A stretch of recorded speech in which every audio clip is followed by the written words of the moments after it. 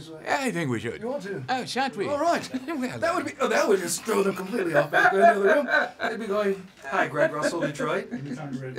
So should we Yes. We'll start that way? Yeah, quite. Denzel, always the greatest pleasure to see you. Thank you, and, and of course that goes without saying. Just so fantastic. but Denzel, it's again a pleasure. it's always, Always. uh, needless, needless to say. There- there- no, there's no need for any more interviews. The day is over. Out the room.